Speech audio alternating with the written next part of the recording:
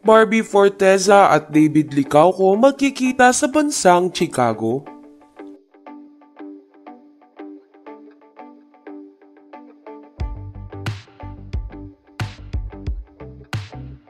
Kinikilig ang mga tagahanga ni Barbie Forteza at David Licauco sa naging usapan ng dalawa sa social media sites na Twitter. Kung maaalala ay kilala ang dalawa na madalas magbardagulan sa Twitter. Isa rin kasi itong paraan para ma-update nila ang kanilang mga fans. Samantala, ibinahagi ni Barbie Forteza ang paparating nilang music video ni David Licauco na mapapanood mamayang alas 7. Ito nga ay ang The Way You Look At Me ng Ben and Ben.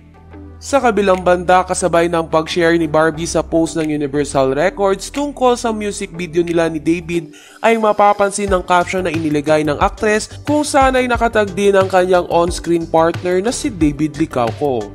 Ayon sa caption ni Barbie, See you tonight at David Licauco. Makalipas nga ang ilang minuto ay nagreply si David ng saan. Tila tinatanong nga agad ng aktor kung saan sila magkikita ni Barbie Forteza kaya naman mabilis din itong sinagot ni Barbie Forteza. Sagot ni Barbie sa tanong ni David na kung saan sila magkikita. Hay nako, sige na nga, i-text ko sa'yo.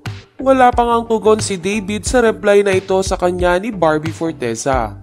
Samantala, hindi maitago ng Barda fans ang kanilang kilig sa naging sagutan na ito ni Barbie Forteza at David Licauco at pabiro pa ng mga Barda fans ay baka sa Chicago niyaya ni Barbie Forteza si David na makipagkita. Kung maaalala kasi ay may vacation trip si Barbie Forteza sa bansang Chicago. Gayunpaman ay biro lang ito ng mga Barda fans dahil para sa kanila ay ang ginagawang paggatong nila sa sagutan ni Barbie at David ay nagbibigay sa kanila ng kasiyahan. Dagdag pa ng Barda fans na sa ganitong paraan na lang sila kinikilig sa kanilang mga buhay. Sa kabilang banda ay narito ang reaksyon ng Barda fans na nakakatuwang sagutan sa Twitter ni na Barbie Forteza at David Licauco.